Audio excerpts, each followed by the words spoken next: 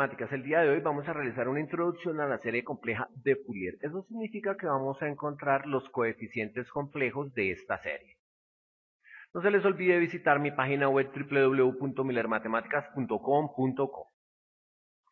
Cuando nosotros hablamos de la serie compleja de Fourier, muchas veces es conveniente trabajar en términos de los números complejos, aunque las cantidades de interés sean reales.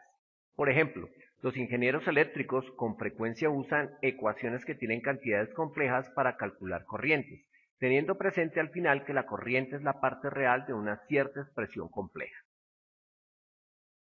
Con ayuda del estudio de los números complejos, es posible formular la serie de Fourier de una función en términos complejos.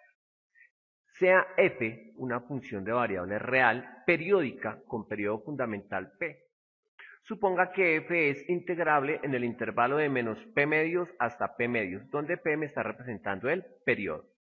Recordemos la serie de Fourier en términos de f de t. Entonces, nosotros sabemos que f de t es igual a un medio de a sub 0 más la sumatoria de n igual a 1 hasta infinito de a sub n coseno de n omega t más la sumatoria de n igual a 1 hasta infinito de b sub n seno de n omega t. Inicialmente entonces se tiene la serie de Fourier en términos de f de x y omega sub 0. Es decir, que vamos a cambiar a f de t por f de x y a todos los términos que tienen omega como omega sub 0.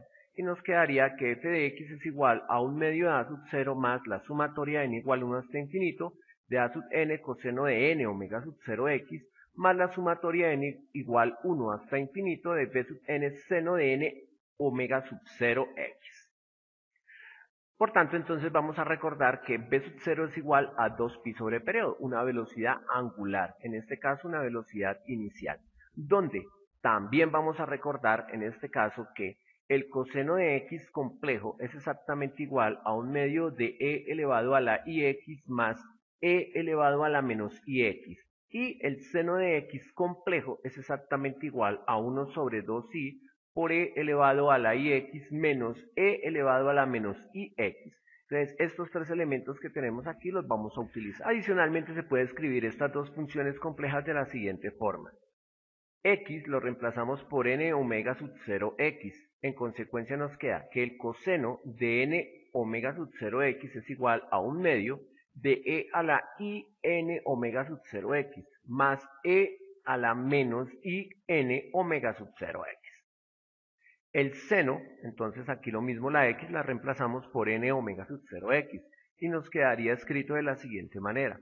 Seno de n omega sub 0x viene a ser igual a 1 sobre 2i por e elevado a la menos i n omega sub 0x menos e elevado a la menos i n omega sub 0x.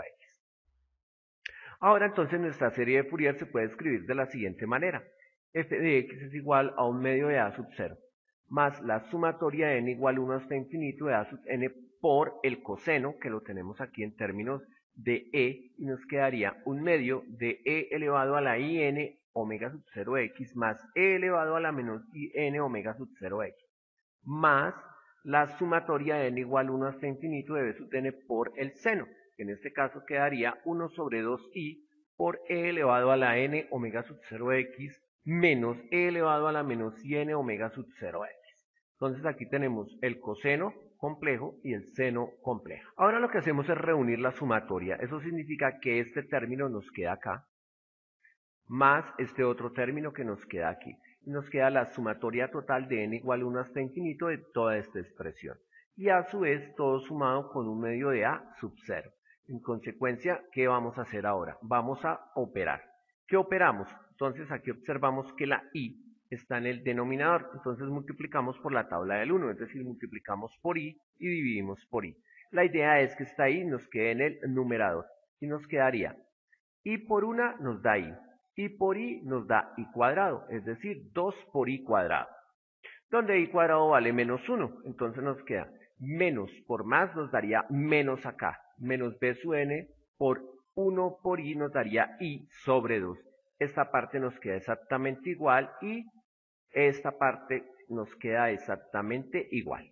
Donde nosotros aquí observamos que nos quedó menos b sub n por i medio. Y aquí esta expresión queda exactamente igual y el resto de nuestra expresión quedó exactamente igual. Ahora lo que vamos a hacer es operar. Eso significa que vamos a distribuir a sub n por un medio por e elevado a la i n omega sub 0x. Y aquí lo tenemos. Y ahora tenemos menos b sub n por i medios multiplicado por e elevado a la i n omega sub 0x. Y aquí tenemos la expresión. Menos por menos nos da más b sub n i medios por e elevado a la menos i n omega sub 0x. Entonces hemos distribuido cada uno de esos factores. Ahora lo que vamos a hacer es reunir términos semejantes, en este caso el primero con el tercero. Observamos nosotros que tenemos como factor común e elevado a la in omega sub 0x. Y reunimos el segundo con el cuarto, donde su factor común es e elevado a la menos in omega sub 0x. Donde entonces aquí tenemos nuestras dos expresiones. Eso significa que tenemos la primera y la tercera, y tenemos aquí la segunda y la cuarta reunidas. Ahora lo que vamos a hacer es sacar factor común. Entonces, al sacar factor común observamos que nuestro factor común es la parte exponencial, aquí, y tenemos como factor común un medio. Lo mismo sucede acá, aquí tenemos como factor común un medio, y tenemos e elevado a la menos 100 omega sub 0x como factor común también. Entonces veamos cómo nos queda. Aquí sacando el factor común e elevado a la n omega sub 0x multiplicado por un medio, nos queda a sub n menos b sub n por i o i por b sub n. Y nos ha quedado esta expresión.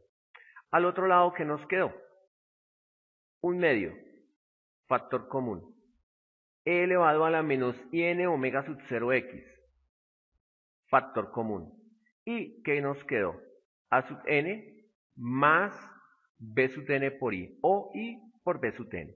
Eso significa que nos ha quedado que f de x es igual a un medio de a sub 0 más la sumatoria de n igual 1 hasta infinito de un medio por a sub n menos i b sub n por e elevado a la menos i n omega sub 0x más un medio de a sub n más i b sub n por e elevado a la menos i n omega sub 0x.